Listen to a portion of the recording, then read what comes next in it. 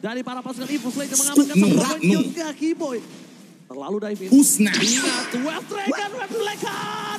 Kali ini berhasil dibalikan kembali ke arahnya dan banget satu poin kill. Pas di belakang, pasukan Evo Slayer mereka udah pecah dari pasif ya. Bos menangkap Prince.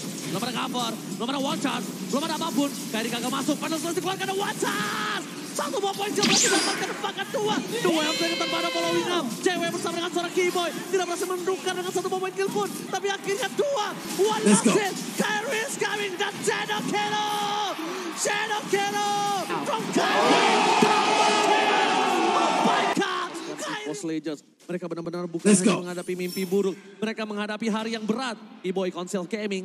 Permainan yang sudah tidak terlihat. E-Boy menuju ke arah seorang Brans. Duel yang telah dikeluarkan. Tidak ada yang masuk, tidak ada following up. Hanya ada Satan bahkan K-Boy.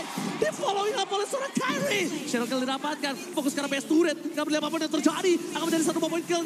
Tas still survive. Dan bahkan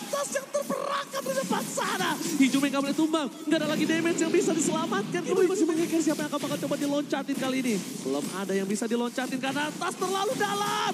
Tas what you doing? Satu point point kill shadow kill. Odi menang kali ini.